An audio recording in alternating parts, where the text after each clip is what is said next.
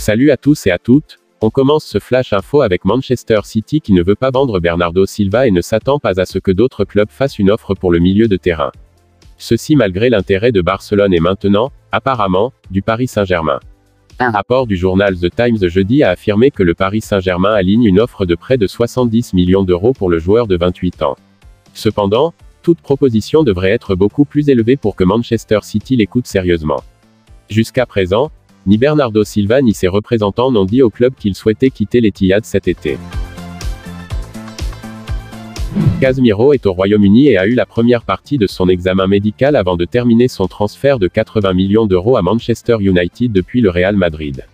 United est sur le point de payer aux géants espagnols 70 millions d'euros pour le milieu de terrain avec 10 millions d'euros supplémentaires, tandis que le Brésilien a un contrat de 4 ans avec l'option de 12 mois supplémentaires à Old Trafford sur la table.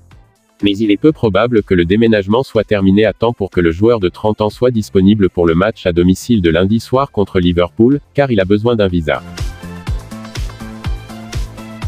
Chelsea et Barcelone ont été en pourparlers ces derniers jours sur la signature de l'attaquant Pierre-Emerick Aubameyang.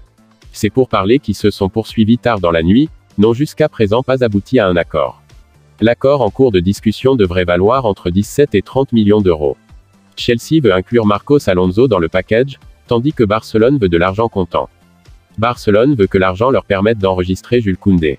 Le Barça a été intéressé par la signature d'Alonso cet été, une source affirmant que cela s'est refroidi compte tenu de leurs problèmes d'enregistrement de leur nouvelle recrue.